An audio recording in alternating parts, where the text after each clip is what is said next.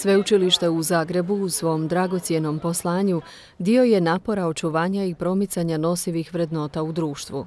Zato je primjereno da u ovo misno slavlje unesemo sve one koji su svoje živote ugradili u sveučilište, žive i pokojne. Posebno pak zahvaljujemo za susrete, razgovore, prijateljstva, ljubavi, usvojena znanja, položene ispite, ostvarene programe i projekte, pomaganje bližnjima tijekom ove akademske godine. Riječi su zagrebačkog pomoćnog biskupa Ivana Šaška, koje je prenoseći pozdrave zagrebačkog nadbiskupa kardinala Josipa Bozanića, okupljenima izrekao uvodu mise zahvalnice za 350. akademsku godinu.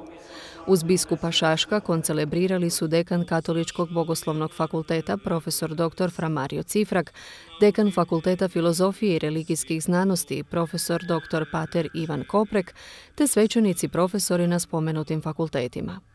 Uz studente sveučilišta na misi su sudjelovali i profesori na čelu s rektorom sveučilišta u Zagrebu, profesorom doktorom Damirom Borasom. U homiliji biskup Šaško je tumačeći navještenu Božju riječ istaknuo kako je veliki dar Isusov to što smo i mi u njegovoj molitvi. Nas koji ga nismo sreli dok je on utjelovljena Božja riječ kao čovjek prolazio zemaljskim putovima. Nas koji smo ga susreli i koji ga susrećemo tamo gdje njegov duh nastavlja govoriti njegovim riječima i njegovom ljubavlju. Čujemo ga u riječima naše vjerničke zajednice, nas, crkve, Kristova otajstvenog tijela, koja nastavlja navještati radosnu vijest. Vidimo ga u svojim bližnjima, osobito u malinima, koji vjeruju i koji se pouzdaju u Božje obećanje. Prepoznajemo ga u traženjima svake osobe i u zauzetosti ljudi za dobro. U Isusovoj su molitvi ljudi koji su daleko od nas, na izgled daleko i od njega. Ali ljudi koje nebeski Otac voli, i želi da budu dionici njegove radosti i njegova jedinstva. To jedinstvo za koje molimo, za koje se zalažemo i koje ne možemo ostvariti svojim sposobnostima i naporima, bit će darovano po Isusovoj molitvi. To jedinstvo nije plod ljudskih dogovora, jer bi takav i dalje bio nesiguran, nesigurno jedinstvo i nepotpuno jedinstvo. Konačni dar jedinstva je Boži dar, a naša molitva je izražaj čežnje za tim darom.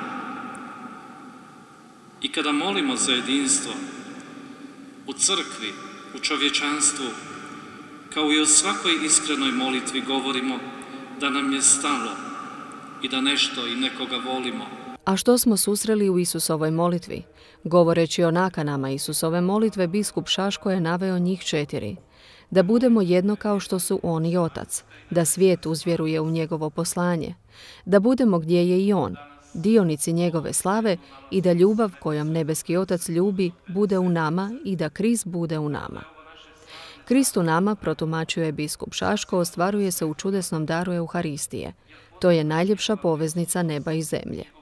Cijela kultura zapada, civilizacija koju zovemo kršćanskom i njeni najljepši plodovi na svim kontinentima, rođena je ponajprije iz Euharistije, iz preobraženoga kruha i vina koji daju život crkvi, Kristovu tijelu. I smatram dobrim da prije svih ostalih mi vjernici kao što rekoh, u svim znanstvenim disciplinama, u svome radu poučavanja i studiranja, tražimo odgovor na pitanje kakav je odnos tih spoznaja prema vječnosti. Ili ima li vječnost uopće ikakav dodir s odgovorima koje daju pojedine discipline? Netko će prigovoriti da se znanost i sveučilišta ne bave vječnošću. Je li tomu baš tako? Izravno ne.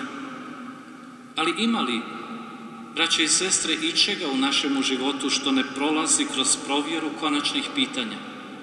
Možda i razlog istinskih poteškoća i leži u tome što više kao da nisu važna pitanja o istini, ljepoti i o dobru. No time ih se nismo riješili.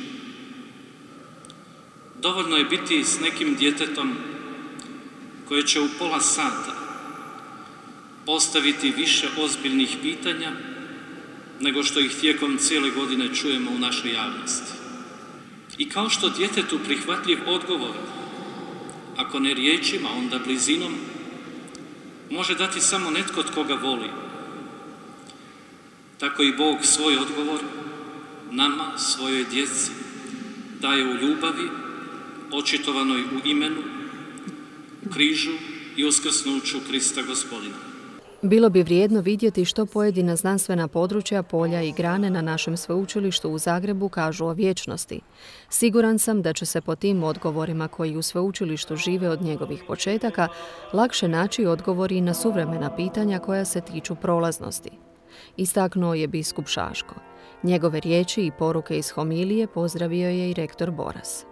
Pa zahvaljujemo prije svega nama da smo se ovdje okupili u zajedništvu. I to je najvažnije. Kad govorim inače pred senatom i gotovo svuda kao rektor, uvijek naglašavam to zajedništvo. A ovdje nema većeg zajedništva nego kad to na misiji i to na kraju akademske godine, evo, nakon ovakve predivne mise u kojoj imamo jedan vrhunski govor našega pomoćnog biskupa Ivana Šaška, i isto tako lijepu završnu e, zahvalu nama svima e, našega dekana Katoličkog bogoslovnog fakulteta. Ali moram reći svih profesora Katoličkog bogoslovnog fakulteta i morali ste vidjeti da su da ovdje bilo jako puno dekana, prodekana, svi naši koji su u Zagrebu e, i slobodni prorektori, dakle studenti, to je ono što ovo Hrvatsko sveučilište koje slavi 350 godina treba i predstavljati. Dakle, jednu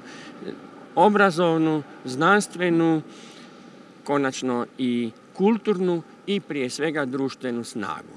I to u zajedništvu sa svim onim vrijednostima koje, kao što smo čuli od gospodina biskupa Ivana Šaška, Dakle, to su zajedništvo u kršćanskim vrijednostima koje možemo nazvati i evropskima, možemo ih nazvati i biblijskima, ali to su vrijednosti koje mi svi poštujemo i u, kojim, u kojima moramo odgajati naše studente, naše učenike i konačno našu djecu dok su sasvim mala.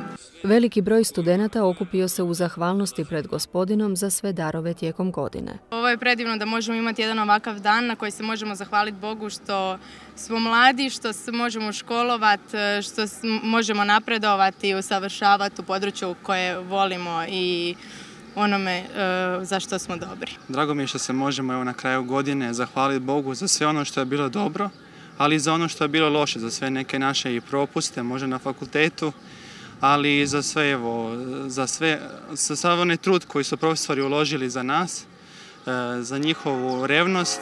Prije završnog blagoslova sve okupljene pozdravio i zahvalio im za sudjelovanje i organizaciju mise zahvalnice dekan Katoličkog bogoslovnog fakulteta, profesor dr. Mario Cifrak.